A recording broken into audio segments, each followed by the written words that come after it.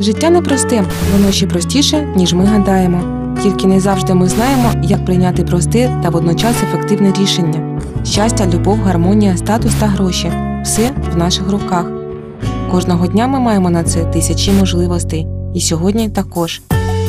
Давайте разом зробимо наше життя простішим, кращим та щасливішим. Це програма Ірини Шевченко Життя ще простіше.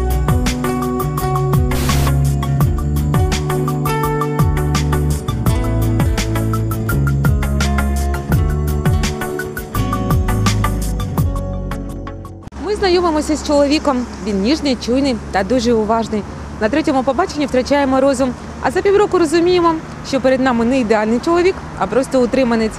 Як розпізнати Альфонса? Дізнаємося з історії Людмили. Сейчас много альфонсов.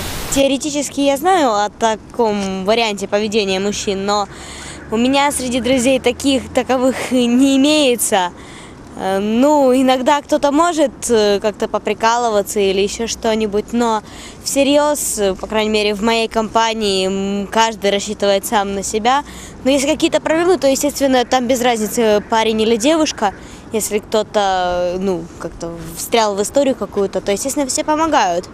И там уже без разницы, кто кому и как помогает. Мужчины альфонсы это мужчины, которые живут за счет женщин, с которыми они встречаются, живут, вот, пользуются их э, вниманием, возможно, пользуются их э, э, определенными статусами, положением. Не всегда это связано с богатыми женщинами. Есть просто ну, люди не работают и за счет женщин обычно живут. Знаю, ну, есть понятие за альфонсил, там, то есть, когда мужчины там зазнаются, там такое, в общем, начинают там ходить по бабам, такое. Ну, насколько я понимаю. Нет, таких людей нельзя, ну, как бы уважать, потому что женщины и так как бы признаны слабым полом, там, все это, как бы, по-моему, даже меньше. И вот так вот ими пользоваться, я считаю, это неправильно.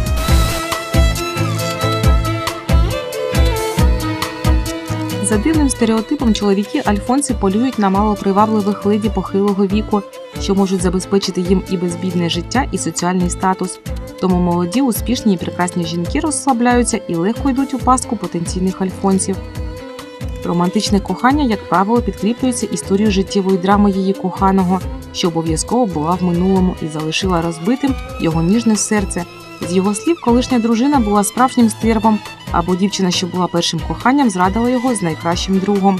Але ось він нарешті зустрів ту єдину, що зовсім інша, і нарешті він щасливий. І дівчина не тільки прив'язується до свого губителя, а ще й почуває себе дійсно єдиною і найкращою. Але без жертви немає губителя, кожен має свою роль. Курка чи яйце, альфонс чи альфонсиха з'являються першими. Як розпізнати альфонса чи як змінити себе, щоб такі чоловіки взагалі не зустрічалися в житті? Поговоримо далі. Это сейчас э, достаточно такое распространенное явление, это социальное явление, и это в какой-то мере бизнес. Точно так же, как бизнесом сейчас является э, там, попрошайничество, да, там, мошенничество. Вот точно так же становится бизнесом и альфансизм, так называемое, да, вот понятие.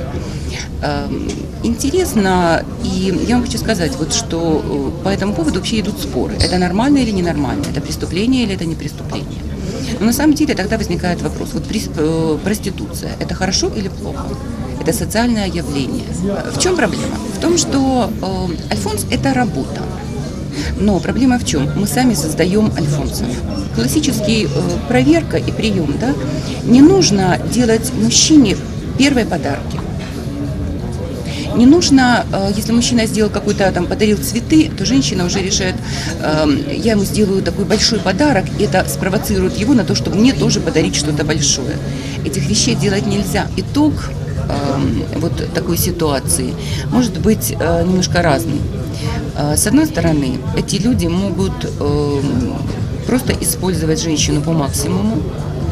Когда они поймут, что взять с нее больше нечего, то спокойно просто идут на поиски следующей жертвы. В принципе, альфонсы, они всегда в поиске, они всегда охотники. Альфонсы – точно такое же социальное явление. Э, Здесь, к сожалению, важнее другое, что это опасное явление. И это говорит о том, что э, наши женщины им не хватает любви, им не хватает внимания, им не хватает ласки. И э, на самом деле, к сожалению, это говорит о том, что самооценка этих женщин все-таки занижена. При этом, несмотря на то, какой статус э, вот, они занимают. Потому что м, альфонсы, они выбирают не только обеспеченных, э, богатых женщин, но они могут э, использовать и самых обычных, вот средний класс.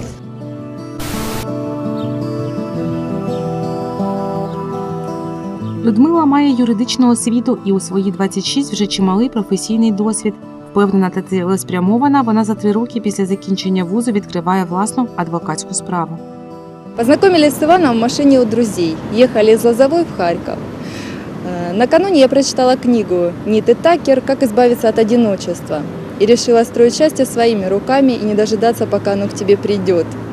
Э, Парень показался мне симпатичным, внимательным. Симпатия оказалась взаимной. Через друзей он нашел мой номер телефона, и на следующий день он мне перезвонил. Он был заботливым, внимательным. Э, Поначалу его смущал материальный вопрос. Когда мы вместе делали какие-то покупки, он не разрешал мне платить. Но потом он начал грузить меня своими проблемами, говорить э, о том, что у него трудное материальное положение. Он рассказывал, что э, до меня девушка, с которой он встречался, была полностью обеспечена, и он заботился о ней и решал все ее проблемы. Постепенно э, его привычка оплатить за наши общие покупки куда-то исчезла. Людмилу почали дратувати звички коханого. Вихована так, що жінка має бути доброю господиною у домі та ласкавою і уважною у любові. Вона зрозуміла, що в цих відносинах вона більше віддає, ніж отримує. Приходят гости с пустыми руками, без денег, вроде как от этого страдает, потому что вроде бы как не привык. Мы никогда не ходили в гости, потому что у нас не было денег, а я не считала нужным платить за него, так как он все-таки мужчина, и он должен как-то оплачивать все наши прогулки, скажем так. Э, Но, в принципе, я его понимала, поддерживала. Ему было удобно жить за мой счет, потому что он никогда не думал о том, чтобы купить, допустим, продукты или что-то купить для жизни. Его устраивало подавать ему завтраки, обеды, ужины. Его устраивало, что на прогулках летом, допустим, когда жарко, хочется посидеть, отдохнуть, мне приходилось покупать пиво, и он при этом спокойно себя чувствовал, не думая о том, что это мог сделать и он. Были неожиданные моменты, так как я работала, а он сидел дома. э, Было такое, что я пришла, и белье было постирано. Было очень приятно. Также были моменты, когда он готовил обед, но опять-таки из моих продуктов. Э, Иван увлекался восточной философией, ему очень нравилась йога, и он даже мечтал о том, чтобы открыть какой-то центр йоги. Но мне кажется, это все пустые слова, так как для дела он ничего не сделал. И ничего не сделал для того, чтобы начать. Э, С другой стороны, я думаю, что это удобная позиция.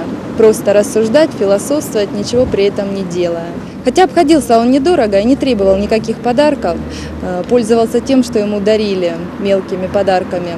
Но я приняла решение с ним расстаться и поняла, что это не тот человек, с которым я бы хотела прожить всю жизнь долго и счастливо. Вообще меня смущает. э, Эта ситуация повторяется уже не единожды. Э, И это не первые отношения, в которых э, мужчина рано или поздно начинает жить за мой счет. Возможно, это я привлекаю таких мужчин. Или может ли женщина вообще нравиться э, мужчинам, будучи успешной? На первых порах это те люди, которые могут э, проявлять какое-то внимание. Вот как в этой ситуации он даже не позволял ей платить ни за что. да? Но это э, праздник, и праздник, который очень быстро заканчивается. Это э, ловушка, в которую попадают женщины. Понимаете? И э, что происходит потом? То есть человек на первом свидании, возможно, да, он начинает задавать вопросы.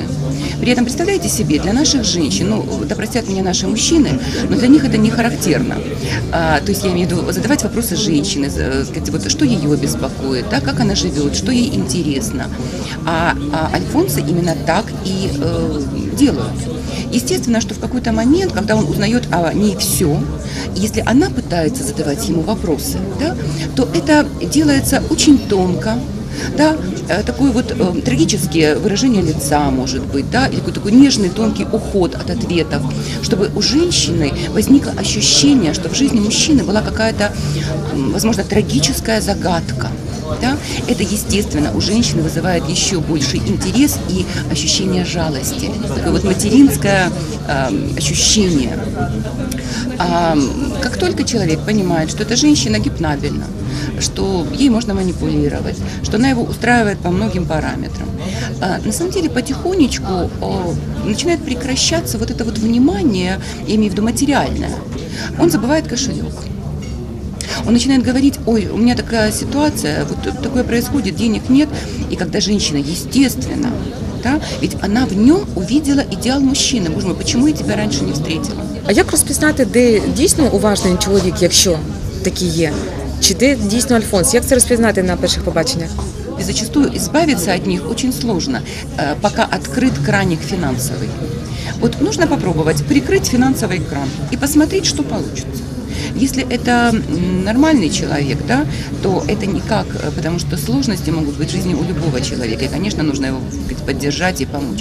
Но если это превращается в хронику, то, э, поверьте мне, это не справится потом. Ему потом удобно.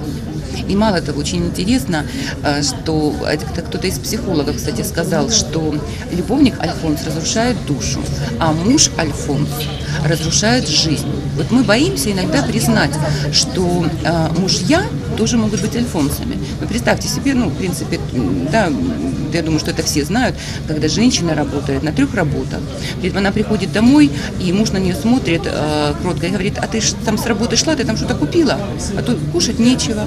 Дорогой, а почему же ты там, как, ну это же не, это же не м, мужская это работа, да? А женщина тянет на себе все, а муж, а, он несчастный, он потерял работу.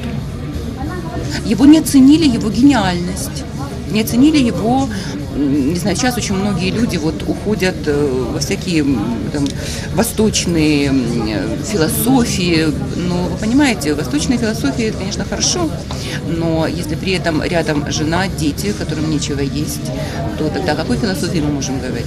У нас уявлення, що Альфонс це якийсь мачо, якийсь незвичайний чоловік незвичайного вигляду з незвичайними якостями. Це стереотип. Це може бути звичайний чоловік, якийсь е, непримітний. Так він теж може бути Альфонсом. Он берет другим. Ведь вы понимаете, что происходит? Он берет внимание. На самом деле, если женщина платит за него, то, конечно, она что-то должна получать. Она получает не домработника, не идеального мужчину, там, сильного, который приносит мамонтов, приносит шкуры, там, не знаю, саблезубых тигров. Она э, получает внимание, она получает э, спутника, вот куда-то пойти с ним. Он пойдет за ваши деньги, все что угодно. А, и он берет другим. И когда женщина привязывается, ведь женщины, они более эмоциональны. И если мужчина может общаться там каким-то сексуальным образом да, с женщиной, это не означает, что он открывает для нее сердце, что он ее любит. Для женщин, э, безусловно, более эмоциональных, э, они привязываются. И потом разорвать это уже достаточно сложно. Альфонсы этим пользуются. Но это внимание, которое непривычно для женщин, конечно, оно подкупает. Ви вважаєте, що е, це якась певна категорія жінок, яка приваблює альфонсів? Це, як ви сказали, жінки, як правило, з заниженою самооцінкою, так? Это женщина, это женщина. С одной стороны, может быть, конечно, м, например, вполне обеспеченная, уверенная в себе, но а, что-то не получается в личной жизни, она может разочаровываться, потому что вы сами понимаете, что женщины в бизнесе это ну, достаточно жесткие женщины. И, э, конечно, характер э, у них становится более мужским. И найти себе постоянного мужчину такого же плана ну, не всегда бывает легко на самом деле. И вот они находят в себе мужчину, но они как минимум достаточно трезво э, понимают, что это покупка, которая нужна, ну, извините за цинизм, но э, альфонсы же пользуются женщинами. Точно так же женщина может им просто попользоваться. Это один момент. И в какой-то момент, когда он ей не нужен, она просто говорит, дорогой, спасибо, я уже все хорошо. Есть другое, конечно, категория женщин, одиноких, которым не хватает этого внимания и действительно заниженная самооценка. И мало того, что, вот я вам честно скажу, если это просто как-то вот альфон- альфонсизм, да, это как явление социальное. Ну, я не могу к нему относиться плохо или хорошо. Вот, но вот я вам скажу, что меня задевает, наверное, да, это то, что эти люди а, еще больше могут понизить самооценку женщин. Ведь что они делают? В какой-то момент, когда женщина может начинать э, возмущаться и говорить, что, дорогой, ну я же не могу все тянуть на себе. Что они делают? Они говорят, а кто тебя, собственно говоря, возьмет, кроме меня? Кому ты нужна, кроме меня? Это я тебе даю внимание, заботу. Кому ты нужна? Да посмотри, сколько одиноких женщин. И что делают наши женщины? А действительно, а кому я нужна? Вот это, конечно, возмутительно. А, вот, поэтому здесь нужно просто говорить о том, что есть личностные проблемы у женщин, которые позволяют себя таким образом использовать. Це проблема жінки, це особистісна проблема, і перш за все їй треба працювати над собою, над своїми особистісними якостями, як я зрозуміла. Конечно, это нужно очень четко, хотя, понимаете, это не так легко на самом деле. Но, в принципе, что нужно сделать? Нужно отстраниться немножечко, да, и посмотреть на ситуацию со стороны. Посмотреть приход, при- посмотреть расход. Да, и что, собственно говоря, ты получаешь? Или ты получаешь рядом такого альфонса, или э, ты получаешь ну, относительно здоровую нервную систему и самоуважение. Но это уже выбор женщины. А, Все ж таки до нас звернулася Людмила. Що ми можемо сказати конкретно їй? Їй треба працювати над собою. Страх потерять вот этого мужчину, которого она нашла. И ей кажется, что это идеальный мужчина. Он же проявляет какое-то внимание. А, вот это, кстати, одна из ошибок. Никогда нельзя приглашать таких людей к себе домой и кормить их.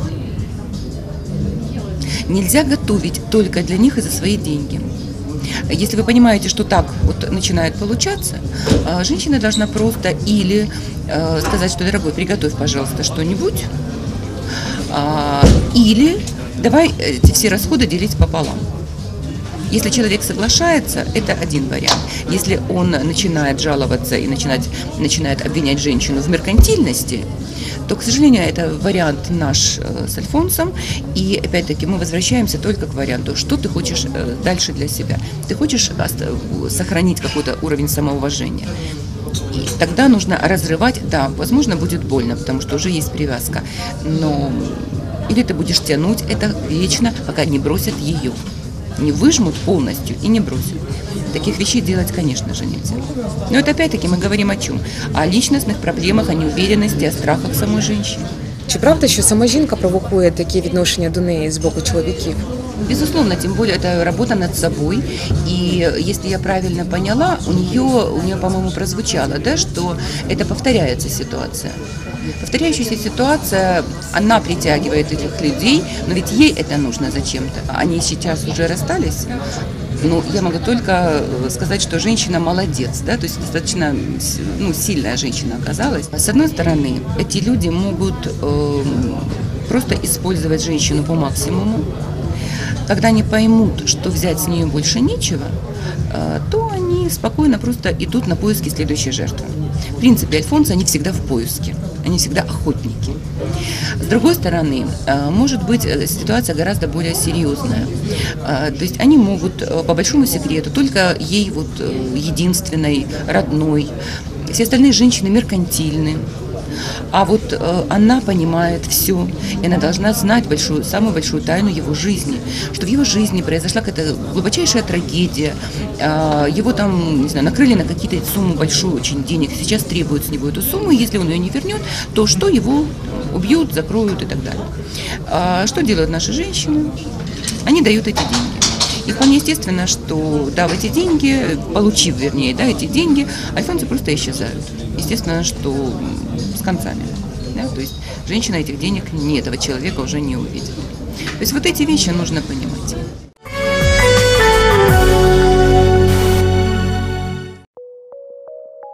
Мій громадянський чоловік давно живе в моїй квартирі, фактично за мій рахунок. Він агент з нерухомості, теж інколи заробляє на угодах, але ці гроші швидко розходяться на розваги.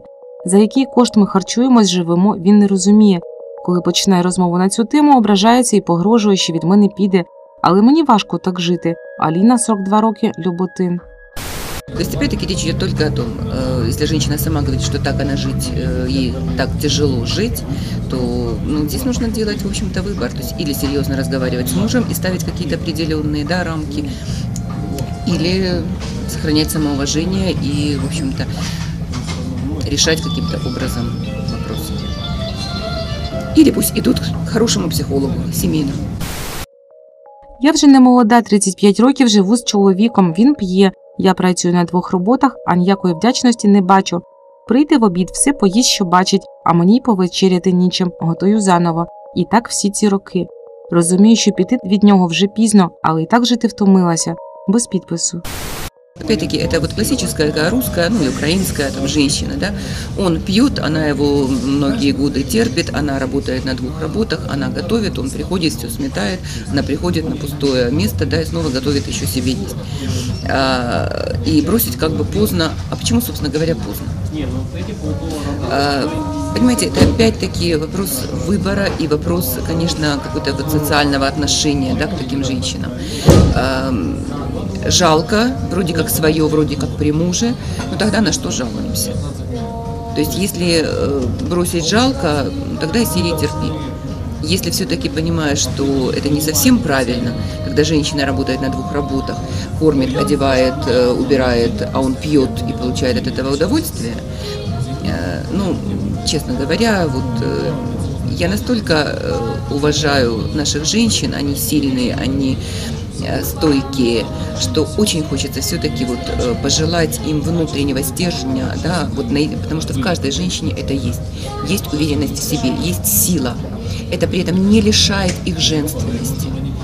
Но нужно все-таки, мне кажется, сохранять самоуважение. Может быть, этим самым мы немножко изменим и наших мужчин.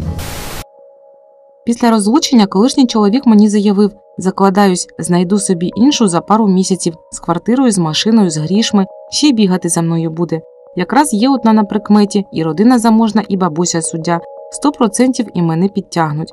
Ось і думаю, як я не розпізнала його відразу, і як не натрапити на таке знову. Оля, 35 років, Харків.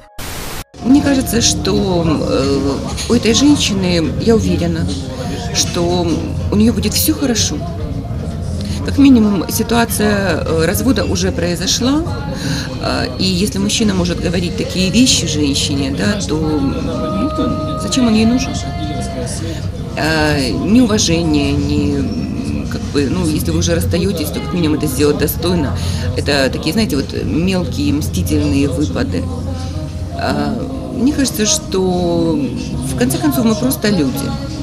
И э, в- это нормально, что мы ошибаемся.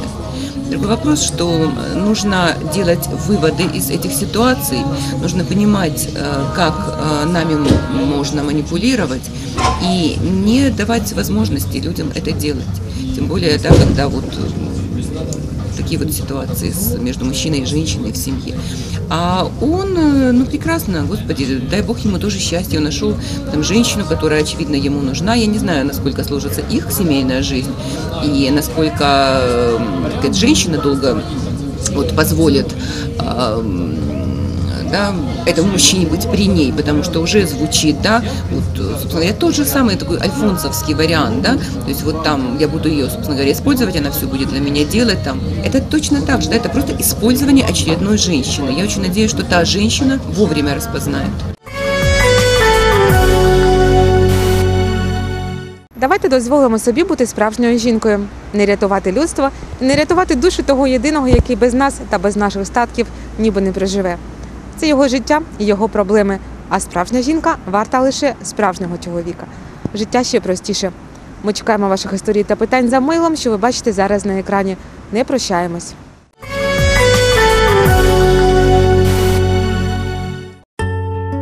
У сестры моей Аси не очень получилось с семейной жизнью. Начали замечать агрессию ребенка дома, он начал все ломать, крошить, не слушаться никого. Стали обращаться к психологу, и психолог детского сада просто сказал, ребенок гиперактивный, перерастет. На этом все, скажем так, занятия насчет невмешанного поведения активные прекратились. Ругали часто довольно. Вот. Э, строго все, но это положительный опыт.